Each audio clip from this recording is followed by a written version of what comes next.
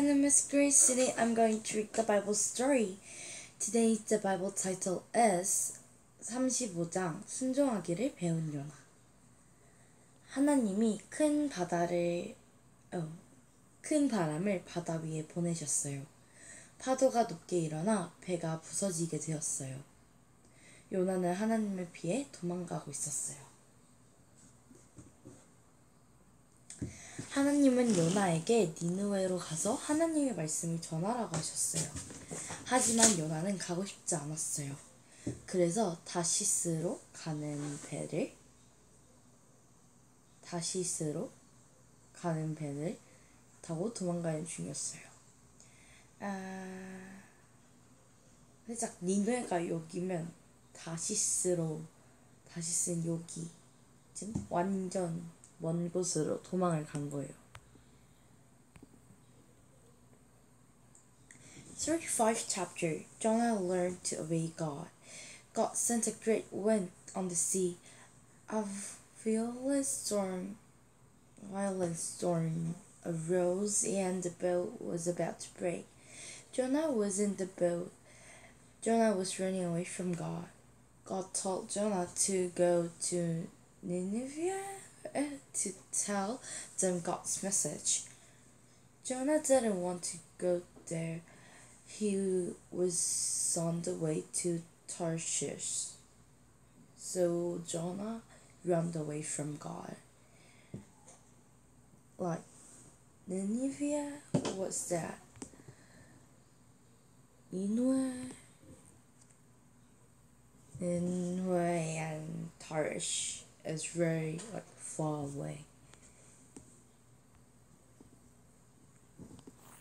배 안에 타고 배 안에 타고 있던 다른 사람들은 모두 겁이 났어요. 요나는 자기가 하나님을 피해 도망가는 중이라고 말했어요. 나를 물에 던지세요. 요나가 말했어요. 그러면 하나님이 이 폭풍우를 멈추실 거예요.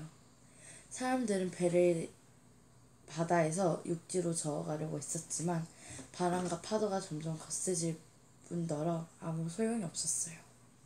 이제 가는 길에 요나가 이제 도망치고 있잖아요. 그래서 엄청 큰 폭풍우가 일어난 거예요. 그래서 요나가 이제 배 안에 같이 있던 사람들에게 이제 나를 던지세요. 그러면 이제 잠잠해질 거예요. 하고 말을 했어요. The people on the boat were afraid. Jonah told them that he was running away from God. He said, "Throw me into the sea. God is God will stop the storm." People tried to row the boat to the land. It was un- useless because of the storm, strong wind, and the storm. So people on the boat were afraid because of the big storm. Jonah was running away from God, so he said, like, throw me into the sea. Then God will stop the storm. 할 수 없이 사람들은 기도하는 마음으로 요나를 바다에 던졌어요. 그러자 바다가 금방 잔잔해졌어요. 하나님께서는 큰 물고기를 보내셨지요. 물고기야, 요나를 삼켜라. The people threw Jonah into the raging sea. Instantly, the sea became calm. calm.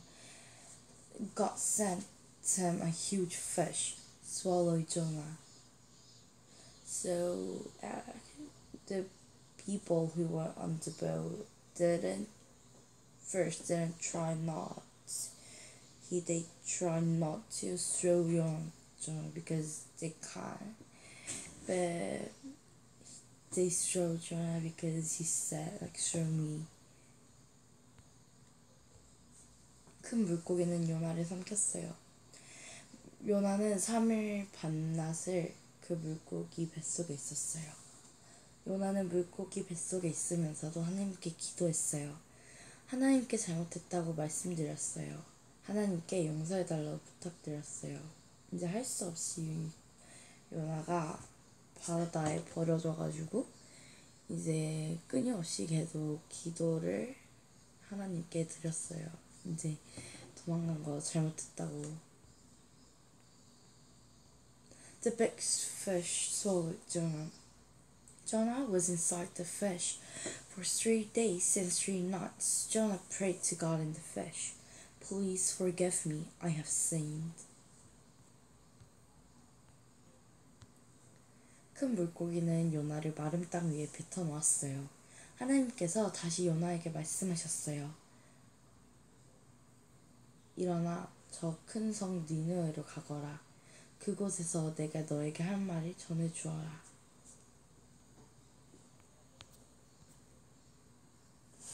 The big fish spat out Jonah on a dry land. God said to Jonah again, Go and tell the people of Nineveh to stop doing bad things. 이제 요나는 하나님 말씀에 순종했어요. 일어나 누누, 니느웨로 왔어요. 그곳에서 많은 사람들에게 하나님 말씀을 전했어요. This time, Jonah obeyed God. He went to Nineveh.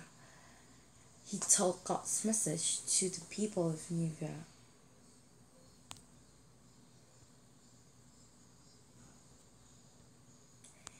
Yesterday, I read the Bible story. Did you enjoy? And next time, I'll read another good story. Then let's see you next time. Bye.